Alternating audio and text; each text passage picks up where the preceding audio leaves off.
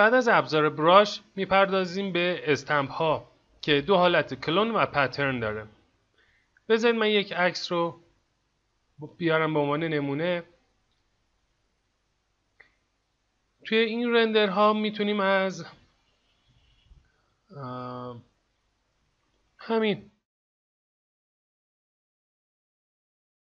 کار این ابزار اینه که فقط کپی رو انجام بده. به کمک کلون ما کپی می‌کنیم. دقیقا همین کاری که با healing brush می‌کردیم. به چه صورت؟ مثلا من اینو بزرگتر می‌کنم. اگه هر جای صحنه کلیک بکنم به من میگه Alt رو باید بگیری تا مشخص بکنی source تو. من میم اینجا. این پریز رو به عنوان source می‌خوام انتخاب کنم. Alt رو می‌گیرم کلیک می‌کنم.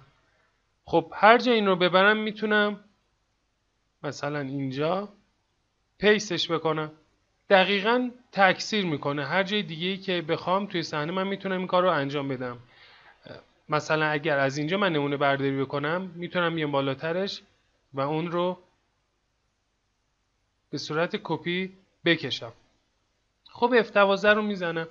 تنظیم خاصی نداره. تمام این گزینه ها رو شما دیگه تا الان باید بدونید چی کار می‌کنه و فقط میمونه همون مدها. گزینه دیگه ای نمیمونه که باش آشنایی نداشته باشید. الان رو می‌دونید که اگه من از اینجا نمونه برداری کنم اینجا کلیک بکنم.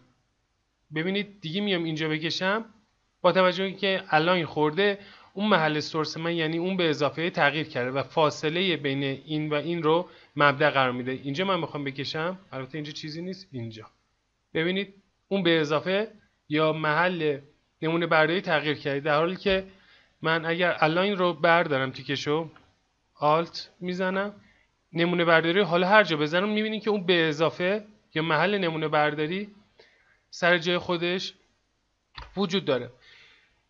دقیقا میشه گفت مثل همین healing brush ه با این تفاوت که وقتی ما از stamp استفاده می‌کنیم مثلا فرض بکنید اینجا رو من به عنوان نمونه برمیدارم. هر چی کپی بکنم دقیقا عین همون محلی که برداشت کردم رو نمونه برداری کردم رو قرار میده در حالی که ما توی healing brush داشتیم که اینجا که نمونه برداری می‌کنیم هر جای از صحنه ما اون رو قرار میدیم رنگ مقصد رو بخورونه به اون بخشی که جدید اووردیم.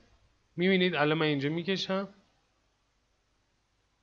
رنگ رو متناسب با تصویر مقصد داره می‌کنه. در حالی که ما توی کلون همچه قابلیتی نداشتیم. از اینجا که نمونه برداری می‌کردیم هر جای حالا بکشیم همونطوری عینا دقیقا داره کپی میشه. دیگه رنگ مقصد تأثیری نداره. در حال ابزار ساده ای هستش. خیلی جای کمی ازش استفاده میشه ولی بعضی وقتا واقعا راهگشایه و می‌تونه کمکمون بکنه. تنظیمات خاصی نداره که تا الان من توضیح نداده باشم. و پترن اس هم که مشخصه. به حالت پترن میاد بر ما.